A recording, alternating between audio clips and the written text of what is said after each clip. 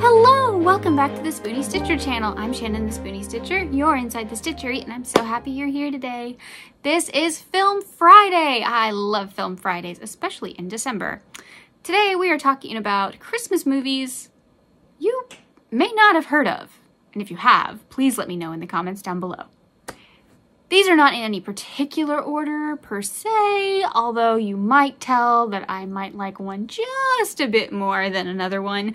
Um, but all of these movies are wonderful and I have to watch them all at Christmas time or it's not Christmas. So these are all classic 30s, 40s, and 50s movie. I do love classic film. It's why I started Film Fridays. I want to tell all of you about classic film if you don't know about it. And no matter the audience, I have gotten people who've been like, I've never heard of that. I want to see that. So I also will try my best for this particular episode. I usually don't do this, but it is Christmas. So um, I am going to try and tell you down below in the description box where you can stream it or watch it. So fingers crossed I can find all of them because they're all amazing and you need to see all of them. the first one is 1945 Christmas in Connecticut. If you have not seen this movie, it is such fun. So, quick, tiny, mini spoony tale. This movie got me through the flu. when I was younger, I felt terrible and it was three in the morning and I just wanted a feel good movie and TCM or the equivalent of such, I think it was TCM, was on and they were showing Christmas in Connecticut I don't know, just watching this movie just made me feel so much better. Okay, so end of Spoony Tale. Now, let's talk about the movie and why it's amazing. So, the plot of this movie is a war hero was stranded, shipwrecked, basically, with his buddy for months, weeks, we're not sure. And um, the only thing that got him through when he started recuperating in a, um, a medical camp a nurse would read to him from Elizabeth Lane.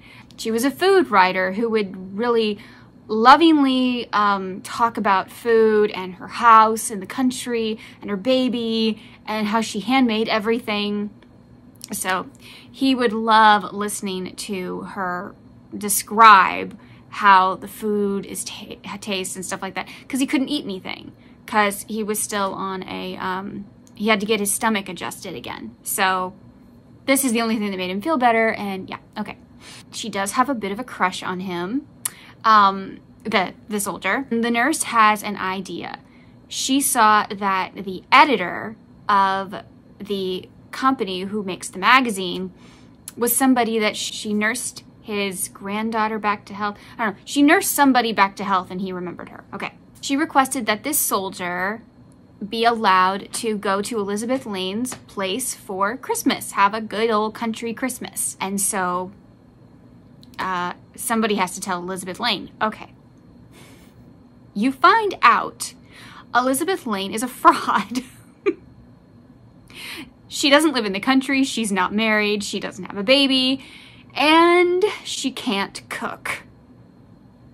All of the recipes come from her best friend who runs a sweet little Hungarian um, like bistro downstairs and he gives her all these recipes and she writes about them and she gets to taste them and yeah so he helps her keep up the secret her boss doesn't know this nobody knows this except her um, like her publicist or something. I think I think that's what that guy's job is. And the guy who has a massive crush on her who is a total we don't like him.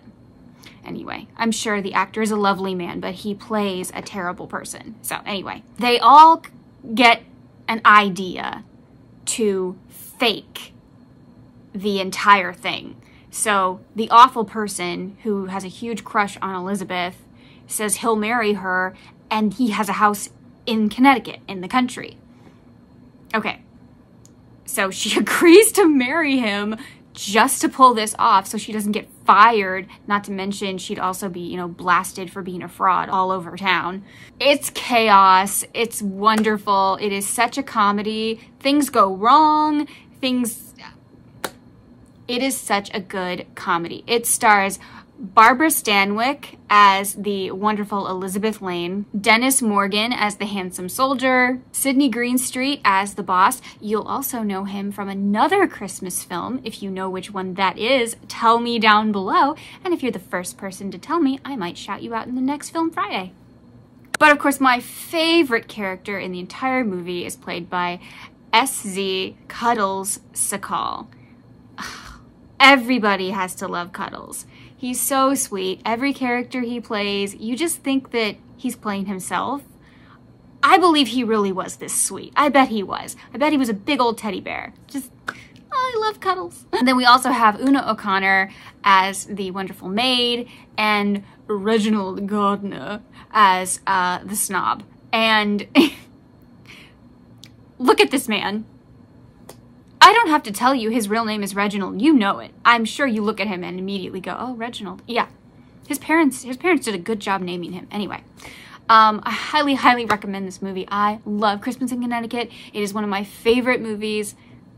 It is one of my favorite movies, okay? Not even Christmas. It is one of my favorite movies. It's wacky, it's romantic, it's funny, it's got, you know, food stuff. I love movies about food. I don't know what that is, but I do. And um, it's not a musical. You're welcome, okay? None of these on this list are musicals, but they do have a bit of singing in them, but they're not musicals. 1947, The Bishop's Wife. Now, a lot of people have heard of The Preacher's Wife, but in 1947 was The Bishop's Wife. It came first. Technically the same plot, but not quite. So, The Bishop's Wife is about a bishop who wants to build a cathedral and he prays to God that just help him. He, he needs help. Things are going wrong. This isn't going well. Christmas isn't going to go well if, if this cathedral isn't built. He's so focused on the cathedral that his wife and his child get a bit pushed aside. Not quite neglectful, just, um, you know, they're second to the cathedral, and that's a little sad. Um, especially because their daughter is adorable. She's the cutest little thing. Oh, I'm sorry. The bishop is played by David Niven. Yes, that David Niven. Um, so, four stars right there. And then his wife is played by the gorgeous and talented Loretta Young. Love her. If you've never seen The Farmer's Daughter, we're going to talk about that on the channel at some point. That is a fantastic movie. And then the angel is played by Cary Grant. Cary Grant, he's handsome, he's dashing, we know it. Anyway, he plays the angel who comes to help the bishop. He does help him, but in the most unconventional way, and it actually starts to make the bishop mad, but he's like, let me do my job. The bishop doesn't really let Dudley do what he was sent to do. He said, You asked me for help. Let me help. He knows what the bishop needed help for, but the bishop didn't know what he truly needed help with. It's romantic. It's a little bit funny. It's sweet. I love this film. It's wonderful. It also has um, Monty Woolley as the old professor. I love Monty Woolley. He's so fantastic. If you've never seen The Man Who Came to Dinner, oh, that is that's a great film, and he is fantastic. Anything with Monty Woolley is great. But anyway, and then Gladys Cooper plays um, Mrs. Hamilton. The scene with Mrs. Hamilton and Dudley, if you do not cry, you are not human. It's beautiful. It's absolutely beautiful. I love that scene. I am getting teary just thinking about it. Oh my gosh. Okay, we're moving on. New movie, but go see that. I'll try and find it down below because everybody needs to see The Bishop's Wife. 1947, it happened on Fifth Avenue. Now, I am very happy. I've heard more people talk about this recently, and I'm so happy people are discovering it because it's such a fun film. What if the richest man in the world had two houses and he alternated between them, and a homeless man figured out how to live like the rich man for a certain time? That's what happens in this movie. A homeless man figures out how to solve his housing problem by staying in an abandoned mansion for a certain amount of time. He even rigs the lights so that security won't figure out that he's there. That he is smart. he is very smart. He has the cutest little dog named Sam. And um, he is played by Victor Moore. It's fantastic. So, the rich man is Charlie Ruggles. Have you ever seen the Disney version? Oh, I'm sorry, the first Disney version of The Parent Trap? He was Grandpa. He's also in The Ugly Dachshund. You know, I could do an entire Film Friday on Charlie Ruggles movies. Should I do that? Let me know. So, um, I don't want to give too much away, but the girl in the film is played by Gale Storm. Yep, that's her name. she is the millionaire's daughter, the, the richest man in the world's daughter, who ran away from school and she shows up in her own house and the homeless man and another man that he meets, but I don't want to give away who that is, thinks she's trespassing. So she figures out what's going on. She overhears them and she decides to pretend to be, you know, a battered child and stuff. So they'll let her stay and she just wants to know more about what's going on in her dad's house. And it is so cute. They have more people show up at the house and I'm not explaining it well. I'm really sorry. It's a very cute, very quirky comedy. It's sweet. You know, it's back when love stories were simple and sweet and cute and I I love this movie. So, if you've never seen It Happened on Fifth Avenue, I highly recommend it. 1955. We're No Angels. There are two movies that I know of, both called We're No Angels. Please, please make sure you get the date right. 1955 is the one you want. The other one is completely not safe for kids and nothing like this Christmas classic. Three convicts escape to Devil's Island and they hide out in a little store merchant's um, shop. They pretend that they can fix his roof. They end up fixing everything.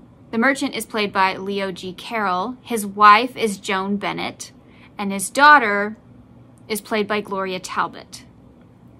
Those are names that were very popular at the time. They were all in big successes.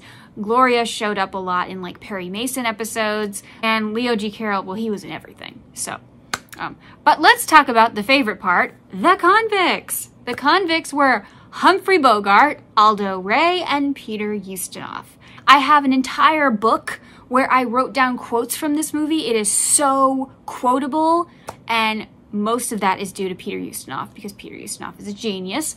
And um, this is a fantastic movie. It is, it is said that it is Humphrey Bogart's only comedy. I would object I believe that Sabrina is kind of a dramedy. But if you're talking about a like belly laugh comedy, then yes, this would be his only comedy. Um, and he's funny. He's funny. He's got that dry humor that works so well against Aldo Ray's kind of manic humor and then Peter Ustinov's more distinguished and uh, witty humor. So um, it's the three balance so well. It's just fantastic. And then, of course, every film has to have a villain.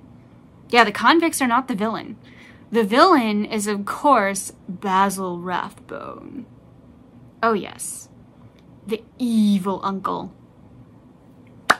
I won't give you any more than that. So the main thing is the convicts start to fall in love with this family and they want to help them and um, it's really sweet. The relationships between the convicts and the merchant's daughter is really sweet, and I mean all of them.